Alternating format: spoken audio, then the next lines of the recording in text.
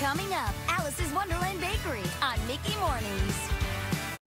Now, Alice's Wonderland Bakery on Mickey Mornings.